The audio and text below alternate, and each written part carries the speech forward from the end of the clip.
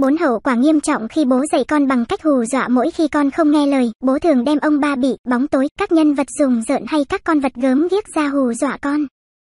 Đây chính là cách dạy con tiêu cực để lại hậu quả lâu dài đối với sức khỏe thể chất và tâm lý ở trẻ. Nhiều ông bố thường dùng cách dọa nạt để bắt con vâng lời, chẳng hạn khi con không ăn cơm, bố nói.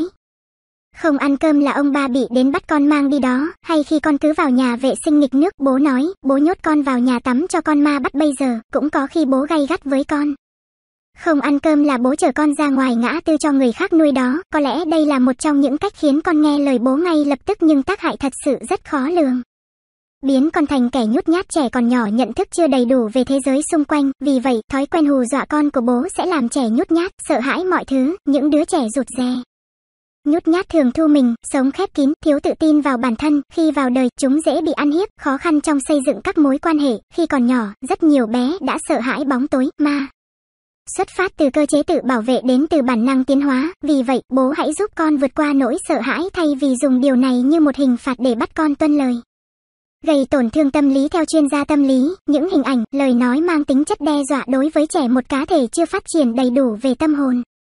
Trí não có thể làm trẻ tổn thương tâm lý suốt đời, mỗi lứa tuổi sẽ có những biểu hiện tổn thương khác nhau, trẻ dưới 5 tuổi thì lộ vẻ sợ hãi thông qua việc đái dầm, giận dữ, la hét, mút ngón tay.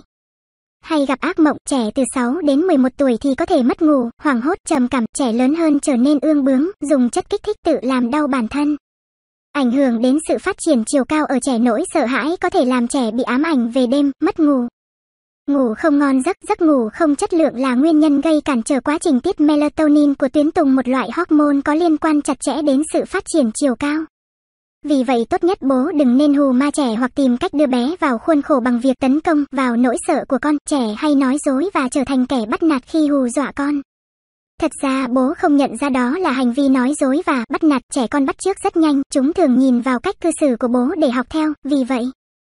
Những đứa trẻ bị hù dọa rất có thể trở thành kẻ nói dối và bắt nạt như cách chúng đã bị đối xử, vì vậy bố đừng nghĩ rằng việc dọa nạt con là vô thưởng vô phạt với trẻ.